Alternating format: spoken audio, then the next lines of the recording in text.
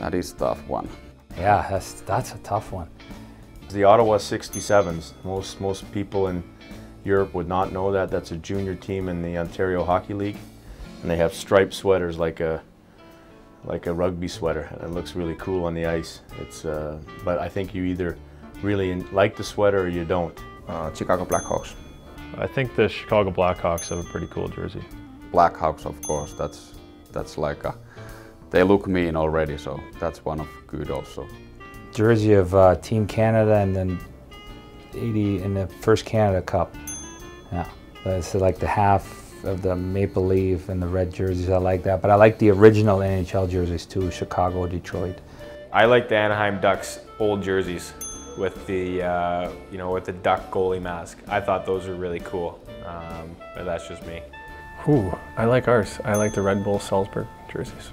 The best one, the Quebec Nordique. Ice hockey jersey all time. Uh, I like I like the, the Munich jersey from last year. There's not too much too much stuff on it, and it's uh, the Red Bull sign and a little bit of a skyline of, of Munich. I, I like that a lot.